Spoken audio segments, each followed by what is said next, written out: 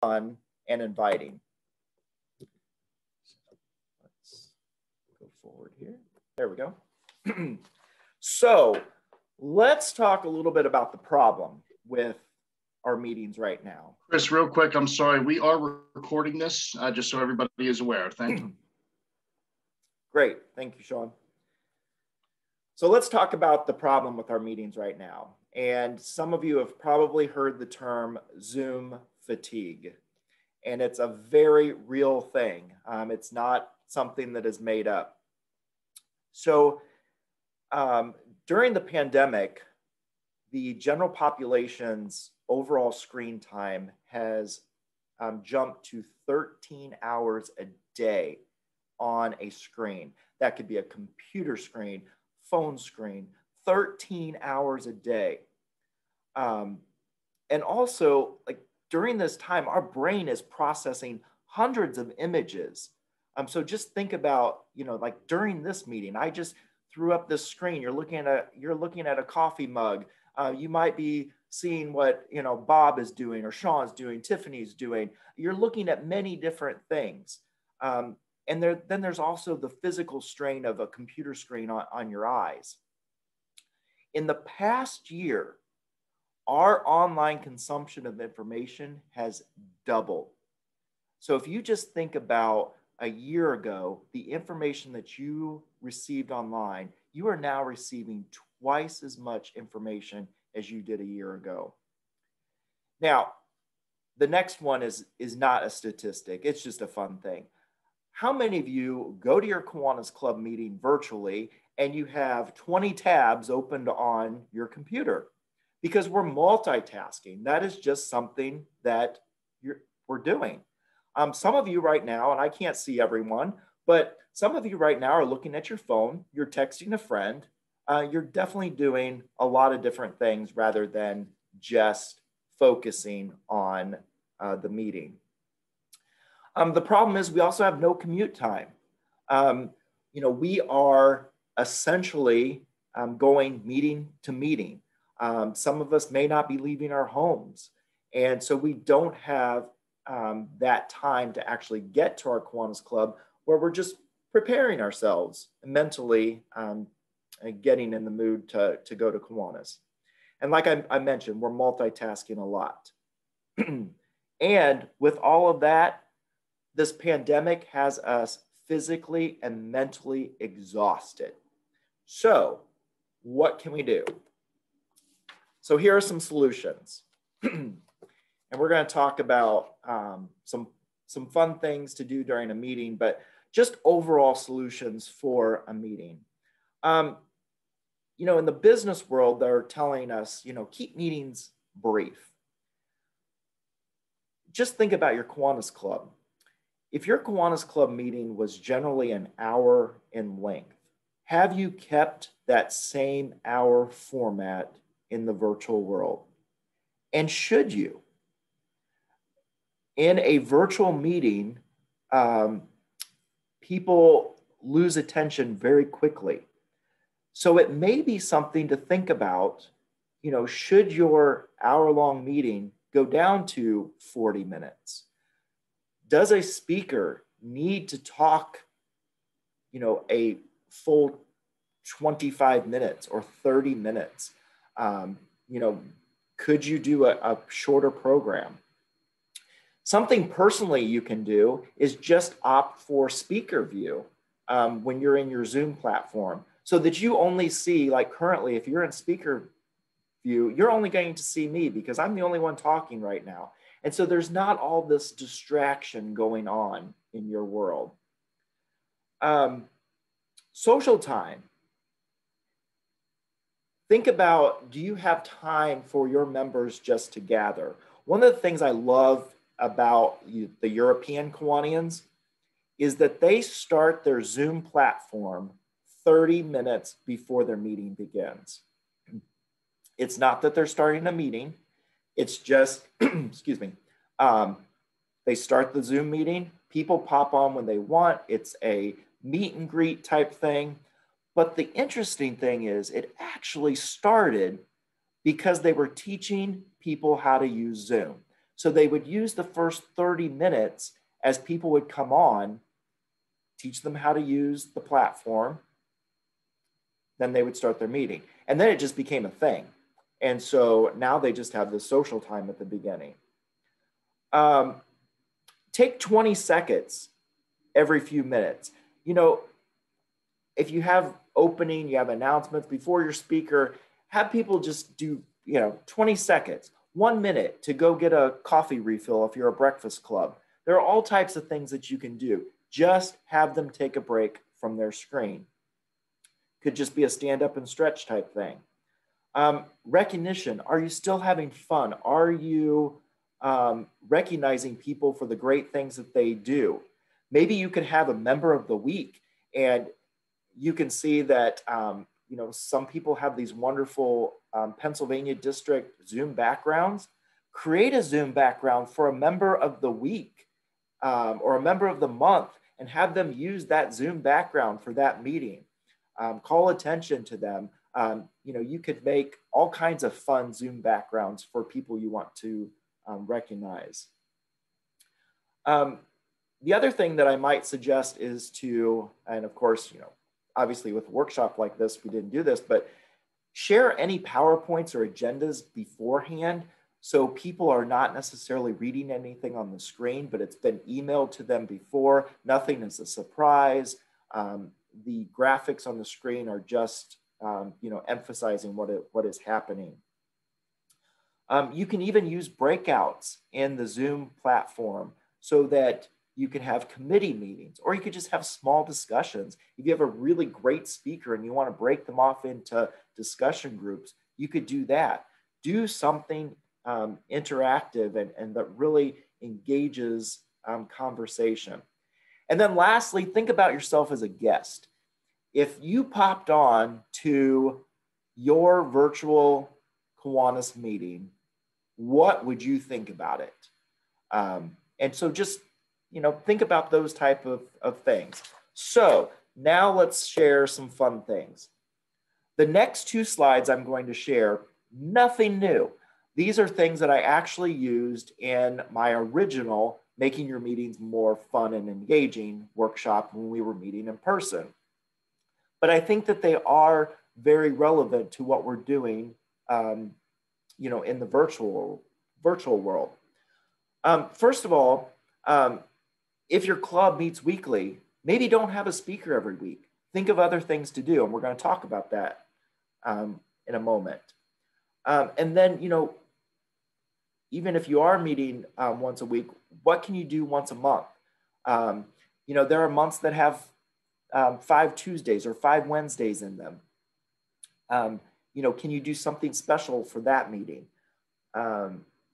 could you uh, take one of your meetings and instead of meeting, ask your club to interclub with another club. Are you inviting clubs in to interclub with you? Um, and then maybe just cancel a meeting and ask a ask each member to do an hour of service instead of meeting and then talk about it the next week. What did they do?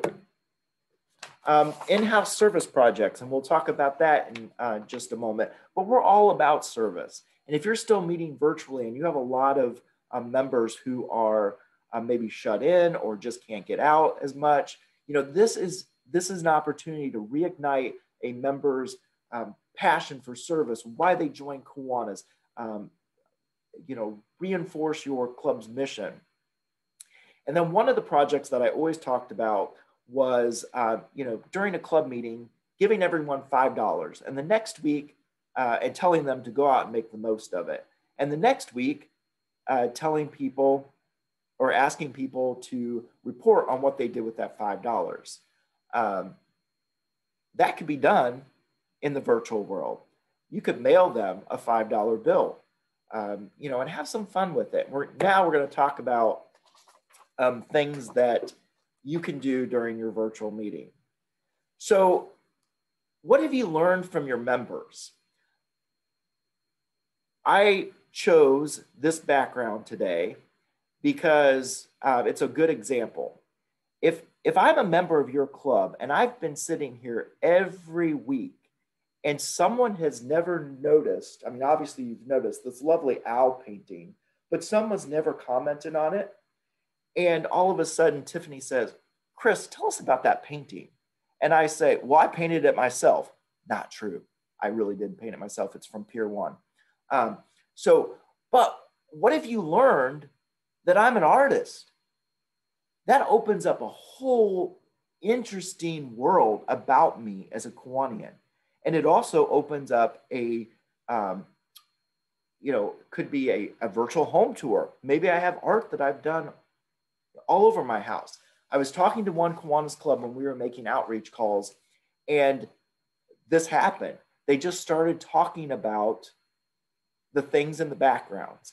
And then they started um, each week having two members showcase a hobby. Um, one member actually took his computer out into his wood shop and showed people how to make crafts in his wood shop. Very interesting things that come from a member's own home. Um, what interesting talents do you have or do your members have? Um, you know, somewhere up here on a shelf, I have a harmonica. I can't play it, it's my grandpa's. But what if I did play the harmonica? Hey, that's instant entertainment for your virtual club meeting. Um, there, you could have a human scavenger hunt. So if all of a sudden you're having a virtual meeting and you say, you know, bring me your favorite photo that is hanging in your house, or if you're in your office, grab one from your office and then you start sharing stories about that favorite photo. Um, find a knickknack that you purchased on a trip. Share some stories. Um, grab something that you recently um, got is a gift. And again, could spark some great stories. Just some human interest things from your um, your club members. Now, had I um, started presenting um, on the other side of the room, um, you would have learned that my Christmas tree is still up. Uh, you know, sad, but true. Um, but, you know, those are just fun things that you learn about your Kiwanians. So these are two things that I have actually done for meetings, and they're really fun. Um, I purchased uh, two items from Amazon. The first being a set of bingo cards. $13. Best $13 I've spent in a while. So I got 50 bingo cards and like a 500 uh, um, 5,000 of these chips. And um, I put a bingo card and several chips in an envelope and sent it all out to the people we were meeting with. Um, the bingo um, calling cards were just a deck of cards. You just shuffle them and you just call out numbers. Fun, interactive, easy. And that's something that you can reuse many times. The other thing I did is I sent, I dealt everyone out five random cards, sent them to people. We did virtual poker. Who has the best hand of poker? Again, just something fun. Now, we did do both of those things with a do not open envelope. It said do not open until, and we put the date on it. Um, so that's kind of fun because you have this unveiling during your Kiwanis Club meeting. You're like, what is it? What is it in this envelope? Um, you know, we clubs have 50 50s, uh, raffles. Um, you can still send tickets out. You could just send, you know, tickets out to people and have um, um, you know, prizes each week that you give out. You could still do your 50 50. You can do um, online payments, electronic payments. Um, so, you know, there are multiple ways to, um, to have some, some fun. Uh, if you are a club that um, eats together, still do that, um, but do it in a different way. Um, you know, share your favorite recipes. You know, is it a family recipe? Um, is it one of my favorite recipes because I'm a diabetic and you know this is a great recipe for for diabetics? Um, is it something because I never have much food in my house, so I just go to my pantry and I, I throw together three things and it makes an amazing dish? Um, so you can talk about your favorite recipes, and then after the meeting, everyone emails their recipes um, to each other. So socializing, we've talked about, you've probably had virtual happy hours. Um, online meetings don't have to be um, all business. Um, you know, you can, um, you know, depending on your club, maybe it is a true happy hour. Maybe you make your, um, you know, favorite uh, drink and, and bring it and, and, and discuss it. Um, so, you know, think about um, that type of thing. As clubs start meeting in person, and some, um, some clubs have, and we're going to talk about a hybrid situation at the end of, of this presentation, but think about having porch gatherings. Um, you know, is there someone who has a large outdoor space that also has good internet and a good laptop that they can bring out and um, you know half the members could stop by stand on the porch and um, you know the other you know half could be virtual whatever i got this idea when um, um right after um, i tested positive for covid uh, december 22nd so i was quarantined the entire christmas break and so you know after my um, uh, 14 days um, a friend and I um, needed to see people.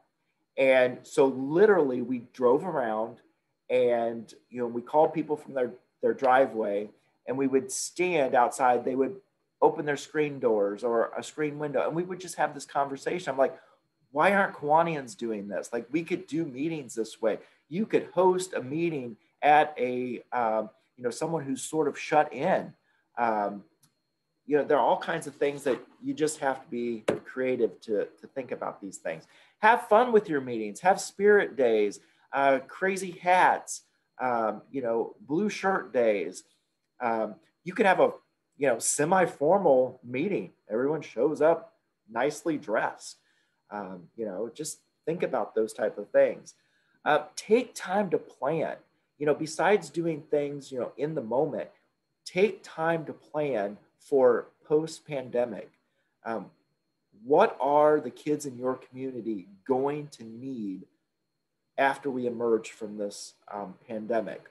And start planning now for events that you might have, who knows, in July, August, September. Um, think that far in advance. So I said, you know, don't forget about um, service. And I also talked about the sort of the human scavenger hunt um, and the porch um, meetups. So let's merge all these together. Have an impromptu uh, canned food drive. So, uh, you know, during a meeting, say, hey, we're going to take five minutes and I want you to go clean out your pantries of things that you've purchased that you're not going to use and your non-perishables and you know make this big deal about it. And then in the next week you're going to drop it off on the porch of sean smith. And um, you know now you've got this impromptu um, food drive happening so you know think about that send people um, supplies that you could do a um, project with and maybe it's just you know cardstock that you can do greeting cards or they're pre-made um, bookmarks that you know everyone probably has scissors and, and maybe some some markers or, or things to do. Uh, thank you cards. You could do thank you cards to um, anyone. Uh, think about your SLPs that are still doing um, service and, and maybe you're going to do um, you know thank you cards to your key club members and someone then will spearhead getting those uh, to the, the key club members there are so many easy service projects. You can Google um, things like service from your couch um, or easy service projects. Um, we have some things on the Kiwanis website as well. Um, some other things, um, invite people to your meetings. Um, invite your SLP members, faculty advisors, the school superintendents, um, you know, recognize them. Uh, this blurb is actually from last spring, but you might want to think in advance of honoring those graduating members of, of Key Club or Circle K. Um, there are several party platforms, basically. Um, you can have game nights, you can host a watch party. There are so many things that you can do. You know, so just start um, Googling things like that. Ask um, if you don't know about these things, ask younger people, ask your kids, grandkids, um, you know, what are some fun interactive things that, that we can do? Um, talked about inviting guests.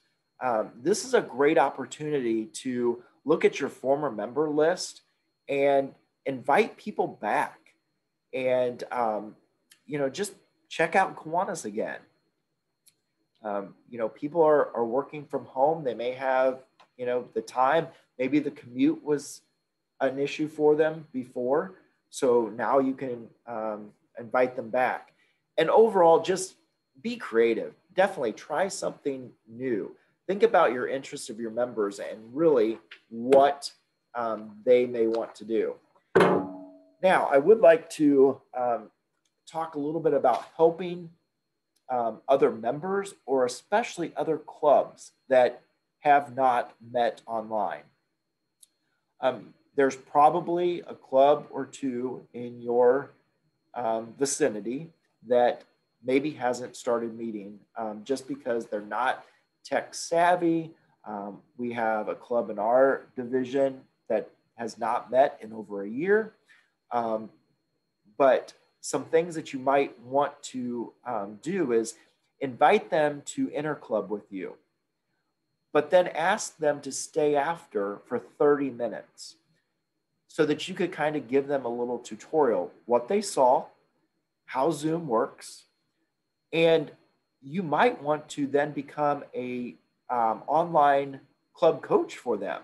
So you could get them started online, and then you could be with them for several club meetings and just kind of make sure that everything is, is going well um, for them. So really helping clubs get online is, is key. Um, the other thing is for the clubs that are having virtual meetings, virtual um, service projects, um, even virtual fundraisers. One thing that um, I've learned in the last couple weeks is the biggest issue is that people are having great events, but they're not having a wonderful attendance. Um, and not in all cases, but in a lot of cases. So you really have to increase your social media presence. And um, by that, I mean that you need to take your club's Facebook page and share it with all of your friends. You know, you're in Pennsylvania. If they're in California, share it with them. They know you're a Kiwanian. They know the great things that, that you're doing. And then always create events for things, whether it's meetings, service projects, fundraisers. Um, because what's stopping a friend of yours in California from donating to a, a, fundraiser. So if they see that on your Facebook page because you've shared that event or because they've liked uh, your club's page and they're seeing some notifications, um, you know, they may want to participate. They may believe in in that um, in that charity. Um, so, you know, think about those things that, that you can do. Last couple slides here. Um, let's think about what Kiwanis is going to look like post-COVID. Um, you know, we were just talking about uh, in the office uh, the other day that on March 13th of last year, we had a staff meeting and they said, we're going to send you home for two or three weeks until we flatten the curve. That's exactly what they said we have been working from home since. Um, so March 16th is our one year anniversary of working from home. Um, I talked to a, a, friend of mine who in Arizona um, last night, they have still not gone back to school. He is a teacher, he has taught for an entire year online. So we have to think about what we're going to do post pandemic. Um, not only club meetings, but also service projects and fundraisers. Um, so you have your face-to-face meetings, you have your virtual meetings, everything in the new world is going to be hybrid. We're talking about this in the Kiwanis world. Um, as of today, we do not know what the Salt Lake City Convention is going to look like, but we know that if we meet in person, there will also be a virtual component. We know that every event from this point forward will have a virtual component. So you must think about that. So with that, that is my presentation.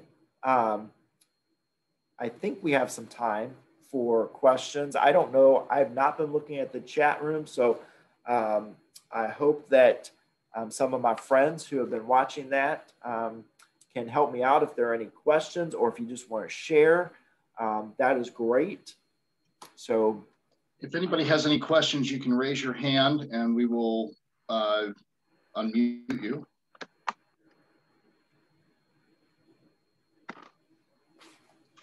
Uh, Eugene has a question.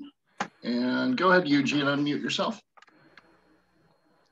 So, um, with all the with all the recent uh, social events I've been hearing about clubs, like we want to think about some social ideas uh, that we can held during our regular club meetings. What are some of the best social socials you have heard, heard of, like games or etc., are best for the for the for the meetings?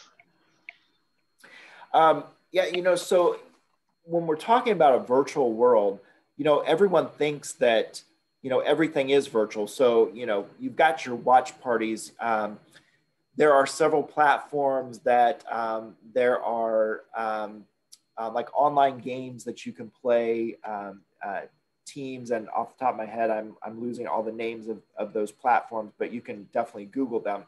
But the reason I went back to old school is, uh, and that's with the bingo cards, um, is just the, the tangible, um, you know, having that game in, in hand um, and, you know, just enjoying that. Um, you know, one of the things that uh, I'm taking a, a, certification class right now, and, and we did this whole thing about um, life in the virtual world. We have lost every sense except the sense of sight when it comes to virtual meetings. Um, and when you think about it, it is so true.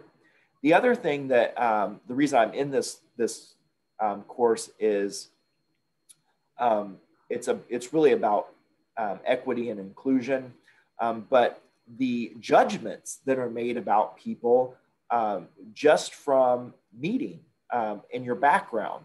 Um, so, as an example, Kathy Samansky knows this because she has seen me on many Zoom calls, and I'm usually in my kitchen um, which if I just turned around, you would see my kitchen because I only live in 600 square feet. Um, but um, for a while, you could see my alcohol. Now, um, not an alcoholic. I had four bottles, and um, someone, I'm sorry, six bottles, and someone said something about um, the alcohol. And I said, well, that's interesting because four of them were gifts from Kiwanians including one being from your immediate past governor. Um, but um, you know, it was a Kiwanian calling me out for having alcohol in the background. So you really have to think about those type of things and not making judgments about people.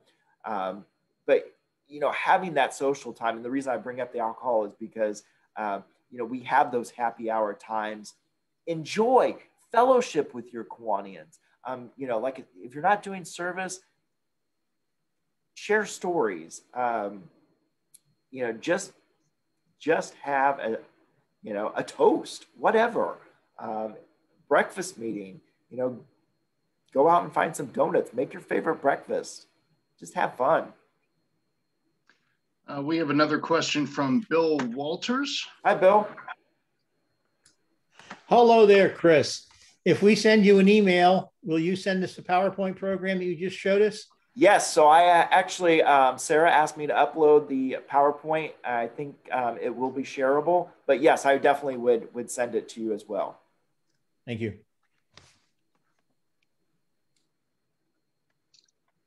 Anybody else have a question? Uh, we have a question from Dave Schickel. Dave. Hi, Dave. Okay, now I'm unmuted. Um, I'd like to know if it would be possible for Pennsylvania Kiwanis to set up on its website maybe a section where clubs could share their virtual meeting ideas. Um, I think it would be great if we could get uh, your suggestions, Chris, were great. I think we could probably get additional ones and just get ideas posted where different clubs could access them. Yeah, I think that's a great idea. Um, good resource library for you. Um, the other, um, and I, I'm sorry, I didn't check out the Pennsylvania um, website before I, um, you know, did this presentation. One great thing that I will say that Nebraska Iowa District has done is um, when you go to their homepage, you can click on virtual meeting directory and it lists all the clubs and either their, their links or um, a contact person so that you can join their clubs and so that you can enter club with them. Um, and I think that that's just awesome.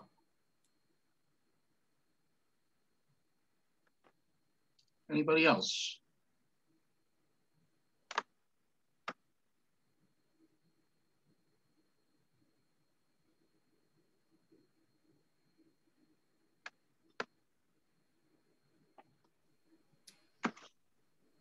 Uh, Joy, Ashley, and this is going to be our last uh, question. Joy, go ahead. Hi, Joy. Hello, can you hear me? Yes. Yeah, um, I just wanted to share. I thank you for your presentation. Um, it has given me uh, quite a bit of um, ideas to add to what I have done.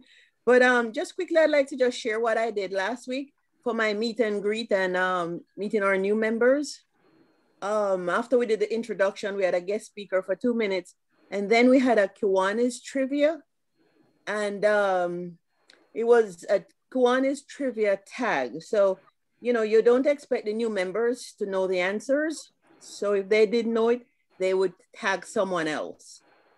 Um, and if that person didn't know it, they would tag someone else just to keep you engaged. And then when the answer was done, that person at the beginning would get, we had a Mardi Gras theme because it was Mardi Gras, and they would get a bead. And so everybody would get a bead. And then in the end, we invited them to donate uh, $10 for their actual bead um, for the Children Foundation. So we got donations towards that. And then, so I'm in the process now of sending them a thank you for the donations and to send them their beads. And then that bead if they wear it to the next two Nittany Kiwanis function, they come in for free. So it kind of adds some value to it. And sorry, Joy, we have to cut you off here. We have a minute left. Um, uh, Chris, go ahead. Want to respond to that? Um, yeah. So, Joy, one of the things that you said was uh, engagement, um, and I think that that is so key. Um, I'm in um, a group that you must have your camera on. And I think that that is um, really important. Um, now, maybe you're not going to mandate that your, your camera is on, um, but definitely, you know, making sure that you're, you're seeing people and, and interacting with people, that is, that is so, so key. So um, thank you for, for sharing um, that. I love the fact that um, you're tagging people, you're keeping them engaged. you can just think about fun games um, that you may have. You, you said Trivial Pursuit. I'm, I'm looking over at my, um, my stack of games. You can easily play, you know, 80s trivia. Um, you can play all kinds of different games if you just think about how you can do it online. Chris, thank you so much for joining us. Thank today. you for having um, me.